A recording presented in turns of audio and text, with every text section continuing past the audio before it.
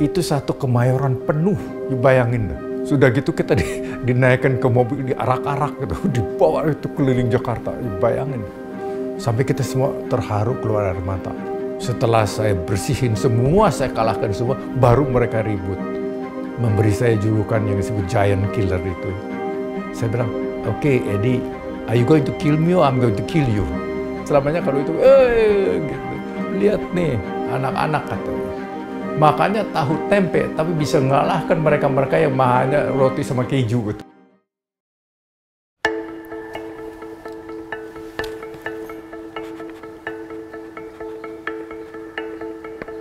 Ini pialanya pada ke mana nggak tahu lah. Ngumpulin-ngumpulin banyak lah. Dulu pialanya nggak bagus-bagus dari Bangkatin. Tapi itu hanya satu lambang bahwa ini yang saya telah hasilkan gitu.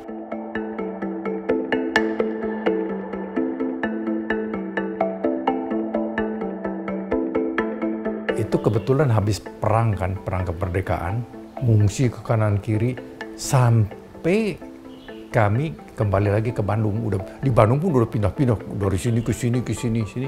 Ayah saya bisa mendapatkan satu rumah tua sekali yang tidak ada penghuninya masuk ke situ di mana halamannya luas di Jalan New Strat namanya dulu. Kalau sekarang namanya Jalan Kesatrian.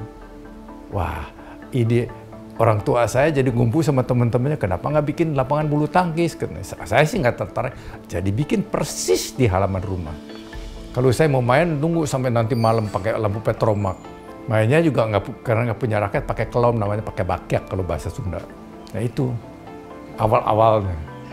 Nah setelah saya main pakai kelom banyak yang melihat loh kok ini anak? Katanya rada aneh lah dengan kelom saja bisa begitu katanya. Bagaimana nah dari situ dari rumah kan di sana itu ada klub-klub bulu tangkis kayak sekarang di sini ada klub Jarum. Di sana ada yang namanya klub Blue White.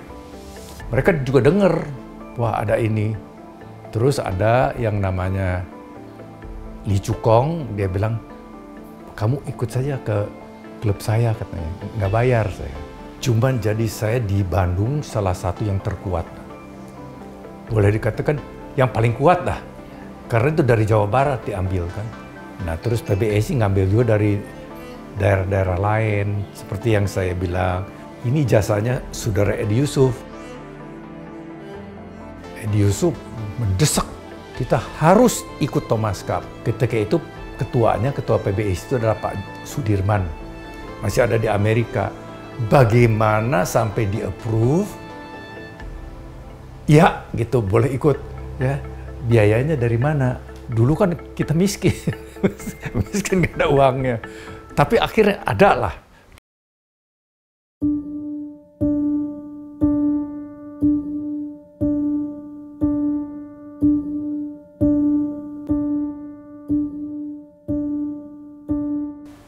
Ini orangnya nih.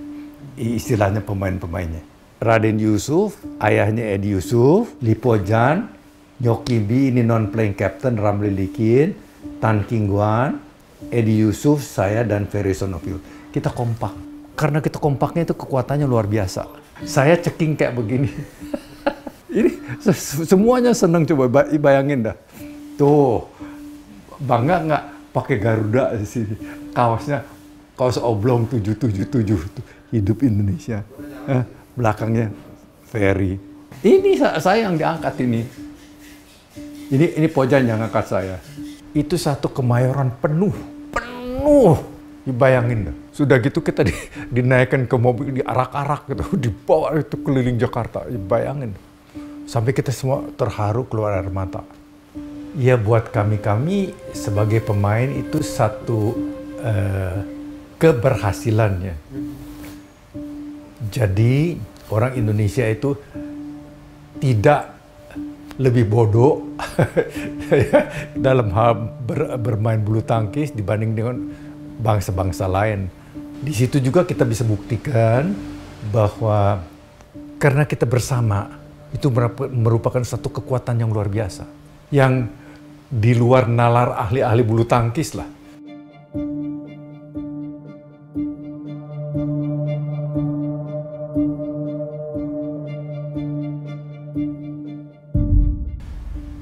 Indonesia bisa muncul sebagai itu. Mereka apa namanya persnya juga. Ah itu mah ya udahlah katanya Malaya tetap akan akan menang lah. Kan ada Edi Chung ya. Dia bilang Tan Yeho kan masih anak bawang pasti akan di, dilahap lah. Edinya juga sudah istilahnya susumbar di koran tuh. Dia bilang I'll kill Juhok on the court katanya. Eh, saya ketawa-ketawa aja makanya waktu saya main sama Edi sengaja udah game kedua udah mendeketin dia udah sempoyongan nggak bisa. Saya bilang oke okay, Edi are you going to kill me or I'm going to kill you? Sengaja di depannya juga saya nggak mau kebuk. Celot ditaruh aja supaya lari lagi. Sampai dia sempoyongan nggak bisa jalan dia. Wah di, di apa disorakin sama penonton dia. Saya pukul dia dua game saya sih dianggapnya anak bawang kan setelah saya bersihin semua, saya kalahkan semua, baru mereka ribut. Memberi saya julukan yang disebut giant killer itu. Begini saya bilang, ini ke diri saya sendiri dulu. Saya bilang, aku bisa lari sekian puluh kilo, aku bisa main tali ya sekian lama dengan kecepatan ini, aku bisa ini, ini. beranilah lawan. Jadi mempunyai satu apa namanya keyakinan Bung Karno selamanya memberi satu uh, yang sangat inspiratif. Eh, selamanya kalau itu, eh, gitu. Lihat nih, anak-anak katanya. Makanya tahu tempe, tapi bisa mengalahkan mereka-mereka yang mahannya roti sama keju gitu. Wah, tepuk semuanya. Saya masih ingat benar. Beliau itu memberi dorongan lah. Nggak ada dulu ngiming-ngiming. Eh, aku kasih bonus nih. Nggak ada tapi memberikan satu semangat yang menyentuh sampai di dalam hati itu yang luar biasa. Jadi istilahnya saya istilahnya umur anak umur 20 bagaimana sih orang kampung ya, bisa tersentuh istilahnya ah saya main sampai sampai mati di lapangan juga saya mau. Jadi rasa kecintaan terhadap eh, negara itu begitu tebal. Saya hanya orang miskin, tapi saya merasakan satu sense of nationalism-nya itu luar biasa.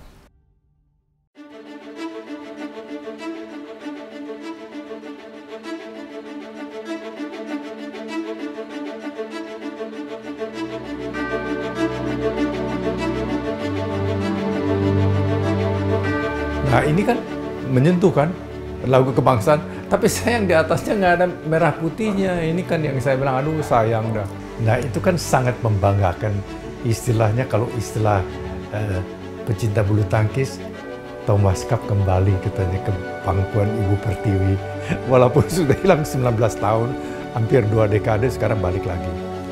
Nah, itu saya merasa bangga, aduh saya bilang, ya saya udah tua, ya ada penerusnya.